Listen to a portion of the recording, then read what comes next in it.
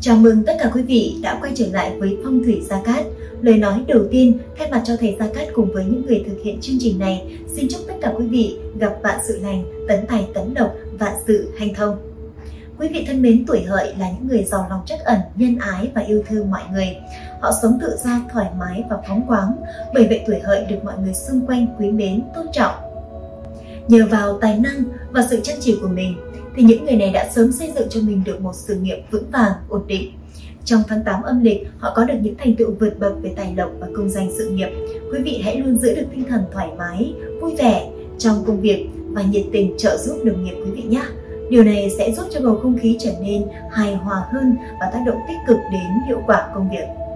Vậy thì trong tháng 8 âm lịch này thành công của những người tuổi hợi rực rỡ ra sao mà khiến cho hầu hết các con giáp khác phải ganh tị? Không để cho quý vị phải chờ đợi lâu, ngay sau đây sẽ là phần luận giải chi tiết. Mời tất cả quý vị cùng theo dõi. Sau đây là phần tổng quan tử vi của các quý vị gia chủ tuổi hợi trong tháng 8 âm lịch năm 2022. Thứ nhất, về sự nghiệp quan vận. Về đường công danh sự nghiệp của quý vị gia chủ tuổi hợi trong tháng này không khởi sắc, thậm chí vì lo nghĩ nhiều ảnh hưởng nghiêm trọng đến sức khỏe, công việc không có nhiều thay đổi nên gia chủ không nên quá lao lực, thời điểm này chưa thích hợp để đầu tư lớn người làm công ăn lương, công việc ổn định, có dấu hiệu thăng tiến hay tăng lương nhẹ. Tử vi năm nhâm dần 2022 chỉ ra rằng những người tuổi hợi kinh doanh buôn bán sẽ gặp thuận lợi nhiều vào thời điểm cuối năm chứ chưa phải bây giờ. Hợp tác làm ăn nên cân nhắc kỹ lưỡng, có điểm phá hoại, chủ quan khinh suất là thất bại tức thì năm nhâm dần 2022, Thái Tuế là hạ ngạc đại tướng quân, dưới chân của đại tướng quân có một con hổ. Để cho vận trình sức khỏe và gia đạo được hanh thông thuận lợi, thầy Gia Cát khuyên các quý vị gia chủ hãy luôn mang theo bên mình một kim bài Thái Tuế để nghênh đón Thái Tuế, mang lại may mắn, bình an. Đặc biệt, kim bài thái tuế của phong thủy lộc tài được thầy Gia Cát trực tiếp khai quang chỉ chú và xem ngày sử dụng cho quý vị gia chủ để có thể mang lại công năng phong thủy tốt nhất. Thứ hai, về mặt tài lộc và tiền bạc, luận giải tử vi gia chủ tuổi hợi năm nhâm dần cho thấy rằng tài lộc tại thời điểm này của gia chủ kém, tiền làm ra ít nhưng chi tiêu nhiều, tháng này gia chủ còn có xu hướng hưởng thụ nhiều, theo đó tiền kiếm được nhưng lại khó tích lũy vì tiêu hao lớn, đa phần thỏa mãn nhu cầu cá nhân. Nếu có ý định đầu tư hay đầu cơ ngắn hạn thì tháng này chưa phải là thời điểm thích hợp bởi lợi bất cập hại, có thể bị thua lỗ, khó thu hồi vốn. Thời gian này nên học hỏi để tích lũy kinh nghiệm, vừa làm vừa học, xây dựng nền tảng kiến thức bền vững, tránh tâm lý a dua đám đông để tiếp tục cải thiện vận may trong tài lộc. Thầy Gia Cát khuyên các quý vị gia chủ hãy luôn mang theo bên mình vòng tam hợp quý nhân, hợi, mão, mùi giúp hóa giải xung sát, chiêu mời quý nhân, quý thần tương trợ, dùng để hóa giải thị phi, tiểu nhân hãm hại. Khi những điều xấu không còn, điều tốt đẹp sẽ đến với bạn, mà từ đó tài lộc kéo đến ầm ầm, may mắn không gì bằng. Đặc biệt, vòng tam hợp quý nhân cũng được thầy Gia Cát trực tiếp khai quang trì chú và xem ngày sử dụng cho các quý vị gia chủ để có thể mang lại công năng phong thủy tốt nhất. Thứ ba, về mặt sức khỏe. Tháng này tình hình sức khỏe của gia chủ tuổi hợi không có gì đáng ngại, tuy vậy khó tránh các chứng bệnh vặt như cảm cúm, đau đầu, đau mỏi xương khớp khi giao mùa. Áp lực công việc, chuyện tiền bạc, con cái chính là nguyên nhân chính khiến gia chủ phải suy nghĩ nhiều, bệnh từ đó mà ra. Nếu khắc phục được vấn đề này, mọi thứ sẽ dần ổn định trở lại. Ngoài ra thầy Gia Cát khuyên các quý vị gia chủ tuổi hợi nên để mắt đến các bệnh liên quan đến mắt tránh để xảy ra tai nạn về mắt. Tháng này cũng nên hạn chế đi đường sông nước kẻo gặp họa. Nữ mạng cần đề phòng các bệnh phụ khoa, chủ động thăm khám định kỳ sớm để có phương án phòng ngừa chữa trị. Các quý vị gia chủ tuổi hợi hãy luôn mang theo bên mình pháp khí phong thủy bát bảo tâm kinh. Đây chính là vật phẩm phong thủy có tác dụng kỵ tà hóa sát, đem lại may mắn, bình an và sức khỏe cho quý vị gia chủ.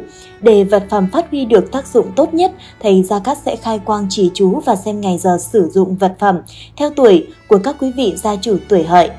Thứ tư, về mặt tình cảm gia đạo. Xét về phương diện tình duyên gia đạo của quý vị gia chủ tuổi hợi trong tháng này khá tốt. Với tuổi hợi độc thân, tháng này mở ra nhiều mối quan hệ cát lành, thúc đẩy nhân duyên vượng, lứa đôi tìm tới nhau, cùng nhau có những trải nghiệm thú vị. Đời sống tình cảm vì thế mà thêm phần phong phú, người đến người đi dập dìu. Với những người đã in bề ra thất tháng này tình cảm vợ chồng có gặp đôi chút trục trặc do nhiều mối lo cuộc sống, tiền bạc, công việc làm ăn, sức khỏe. Đôi bên không học cách chia sẻ, ắt nảy sinh tâm lý chán trường, chính là mối đe dọa hạnh phúc gia đình. Tử vi của từng tuổi hợi trong tháng 8 âm lịch năm 2022, tuổi Ất Hợi sinh năm 1995. Xem tử vi tháng kỷ dậu trên phương diện tài lộc cũng như sự nghiệp, người tuổi Ất Hợi có thể gặp được một số cơ hội để phát triển, nhưng thành quả đạt được chưa giúp bạn đạt được bước thăng tiến như mong muốn. Do đó cần phải kiên trì với những gì mình cho là đúng, đừng nên dễ dàng bỏ cuộc khi mình chưa đạt được mục đích đã đề ra. Về các mối quan hệ, người độc thân sẽ được người khác giới thiệu đối tượng phù hợp về nhiều mặt. Dù đối phương để lại nhiều ấn tượng tốt, nhưng bạn cũng nên chú ý đừng đốt cháy giai đoạn, kẻo sau này rất dễ mất đi sự tươi mới của tình yêu. Tuổi Quý Hợi sinh năm 1983 sự nghiệp của những người tuổi Quý Hợi sinh năm 1983 phát triển khá tốt trong tháng này. Người làm kinh doanh càng có nhiều thuận lợi khi mỗi ngày đều có số lượng khách hàng ra vào đều đặn, tiền bạc kiếm về dư đôi nhân duyên của bản mệnh cũng rất vượng, đào hoa không ngớt, ong bướm vây quanh không ngừng. Nguy cơ đụng độ đào hoa xấu của bạn cũng cao hơn. Hãy chú ý, giữ vững tâm lý và khoảng cách thích hợp với người khác phái, đồng thời quan tâm hơn đến gia đình.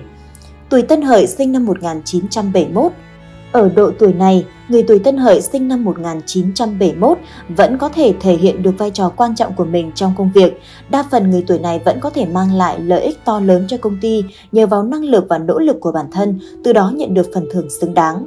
Dù ở tuổi này hầu hết bản mệnh đều không phải gánh vác cuộc sống của con cái, nhưng vẫn nên có ý thức tiết kiệm cho tuổi già. Đồng thời, bạn cũng nên thận trọng trong việc đầu tư, nhất là không nên tham gia vào các loại hình cổ phiếu vì hệ số rủi ro quá cao tuổi kỷ hợi sinh năm 1959, xem tử vi tuổi kỷ hợi tháng 8 năm 2022, do đã có tuổi nên sức khỏe của quý ông bà không còn được tốt như trước, nên chú ý đến các căn bệnh tuổi già, bệnh tật lâu khỏi, vì thế mà phải chi tiêu vào thuốc thang nhiều, thêm nữa gia đạo tháng này cũng không tốt, có chuyện buồn đưa tới.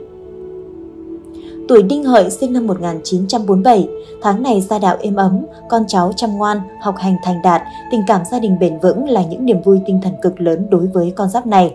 Tuy nhiên đương số cũng rất dễ phạm tiểu nhân, họa thị phi, nghiêm trọng, còn có thể dính líu tới pháp luật, kiện tụng. Vấn đề sức khỏe cũng có những dấu hiệu sụt giảm, cần chăm sóc cơ thể. Tổng quan tháng 8 âm lịch năm 2022, tháng kỷ dậu năm nhâm dần.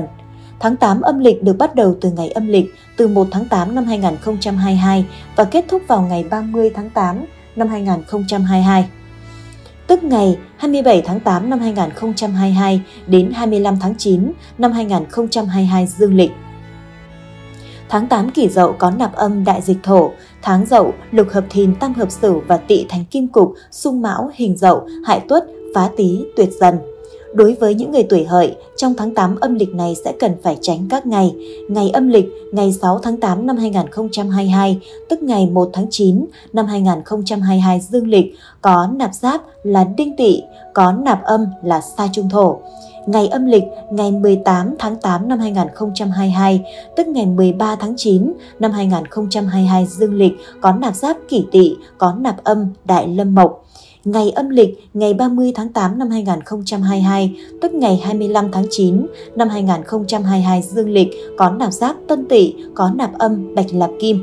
Đây chính là 3 ngày không được cát lành khi tính theo tuổi của các mệnh chủ tuổi hợi. Trong những ngày này, mệnh chủ cần phải hết sức chú ý, tốt nhất không nên thực hiện những công việc quan trọng. Lời khuyên từ các chuyên gia phong thủy cho bản mệnh là nên chú ý tới sức khỏe nhiều hơn, chi tiêu tiền của vào những việc cần thiết, không nên vung tay quá chán. Các ngày tốt đối với người tuổi hợi trong tháng 8 âm lịch năm nhâm dần 2022. Ngày âm lịch ngày 3 tháng 8 năm 2022, tức ngày 29 tháng 8 năm 2022 dương lịch có nạp giáp giáp dần, có nạp âm đại khê thủy.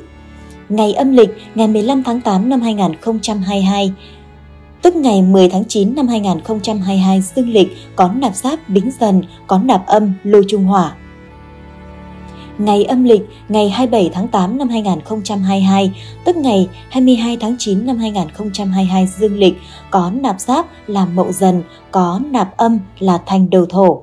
Đây chính là 3 ngày cát lành trong tháng để các quý vị gia chủ tiến hành các công việc liên quan đến xuất hành hay tiến hành những công việc quan trọng sẽ dễ có kết quả cao hoặc những vấn đề nhỏ trong gia đình bạn tiến hành đều hết sức thuận lợi. Ngoài ra việc lựa chọn ngày tốt cần phù hợp với tuổi của gia chủ trong những công việc như tiến hành động thổ, ngày giờ mua xe mới, ngày giờ cưới hỏi. Để chọn được ngày giờ đẹp phù long tương chủ, ngày giờ tài lộc của gia chủ, anh chị và các bạn hãy để lại thông tin dưới phần bình luận theo mẫu họ tên, cộng ngày tháng năm sinh, cộng số điện thoại. Hoặc anh chị có thể liên hệ trực tiếp đến số hotline hiển thị trên màn hình để có thể được tư vấn hoàn toàn miễn phí. Quý vị thân mến, dù khó khăn vất vả đến đâu thì mình cũng cần phải vững tin vào cuộc sống. Số phận trời sinh mỗi người mỗi khác, ai cũng có số mệnh của riêng mình, sứ mệnh của riêng mình. Hy vọng thông qua việc luận giải tử vi cho tất cả quý vị gia chủ tuổi hợi trong tháng 8 âm lịch sẽ giúp đỡ được cho quý vị phần nào trong cuộc sống của mình, có những bước đi vững chắc hơn, thành công hơn. Rất cảm ơn tất cả quý vị đã quan tâm theo dõi chương trình. Quý vị đừng quên bấm chuông thông báo và ấn đăng ký kênh để có thể nhận được những thông báo mới nhất về chương trình quý vị nhé. Còn bây giờ thì thời lượng của chương trình đã khép lại. Xin kính chào và hẹn gặp